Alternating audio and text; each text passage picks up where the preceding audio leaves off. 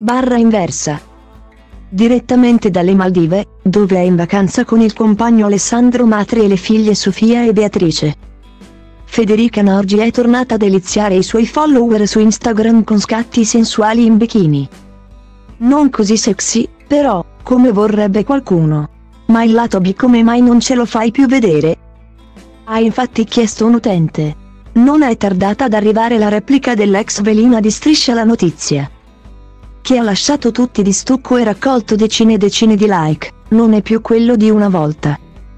Federica Norgi ha cellulite e smagliature un'altra fan ha invece notato che nelle ultime immagini si notano delle piccolissime smagliature, se la Nargi ha le smagliature c'è speranza per tutti.